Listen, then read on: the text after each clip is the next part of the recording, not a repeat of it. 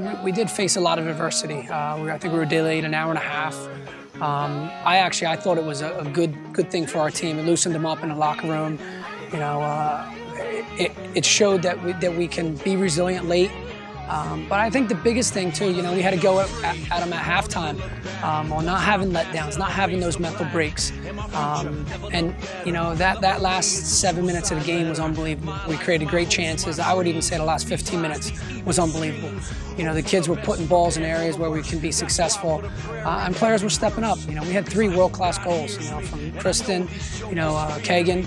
I don't think I've ever seen Kagan jump that high and, and, and put that ball away, and, and obviously Haycook with two assists and a goal.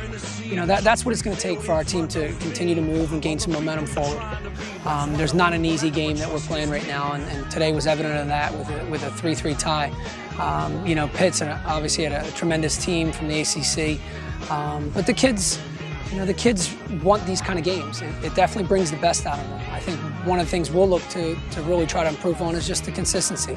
You know, I thought against Washington we put a, a good 85 minutes in. You know, today I think it was it was too streaky. Um, I think you know we put a, a 90 minute game in today. I think we're going to get a, a more of a positive result. And I hope that you like me. The club sold out and we getting kinda hypey. Uh, but I ain't from the